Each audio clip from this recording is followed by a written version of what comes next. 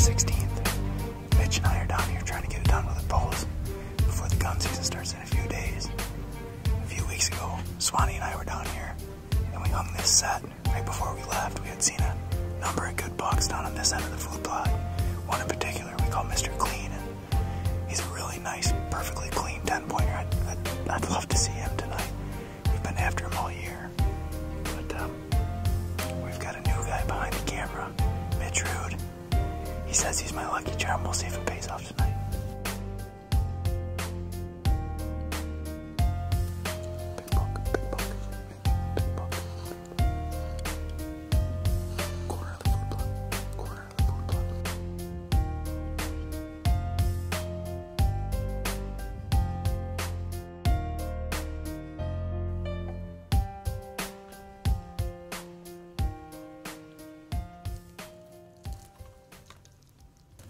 I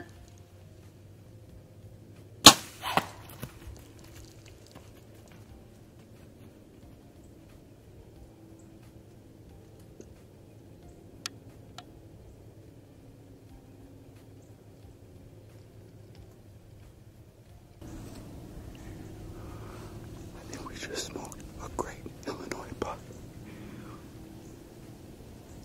I can hear him thrashing over there. Well, it's the morning after we shot a buck. We know Mr. Clean. He's a perfect 10 pointer. Mitch and I got on him about 70 yards on the other side of this food plot last night. We followed great blood till he entered the CRP, but most of you guys know it is a nightmare trying to track a deer at night through CRP. So we got good blood on our arrow, we got good blood in the food plot. We know he's a dead deer. We're gonna get on the trail now. There he is. Mitch, get over here. We got him, man. We got him. There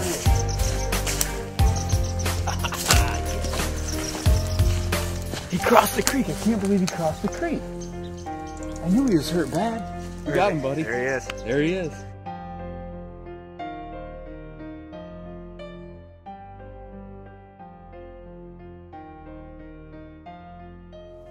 Well, here he is.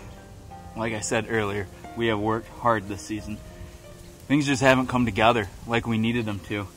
But this is a deer that we've got, I don't know, maybe a dozen trail cam pictures of. We called him Mr. Clean. He's just a perfect 10. Uh, figure him to be about a three and a half year old deer. Um, super, super happy to have put an arrow through him.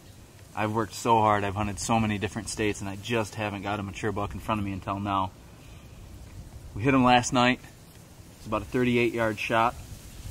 I judged him a little closer than what I should have. I judged him at about 31, 32, and we hit him a little bit low. But uh, after a pretty easy track job this morning, here he is on the other side of the creek. But this, this is where the hard work begins. I don't know how we're going to get him out of this thing.